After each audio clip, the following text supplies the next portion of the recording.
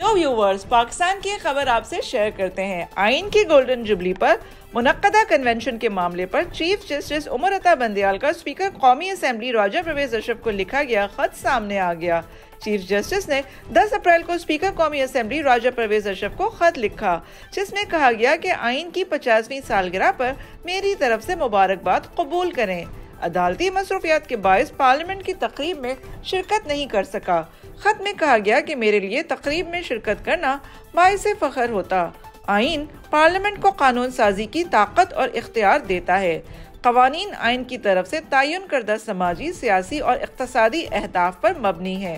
Chief justice ने अपने खत में कहा कि मेरी दुआ और नेक ख्वाहिशात हैं कि पार्लियामेंट अच्छे कवानीन बनाए।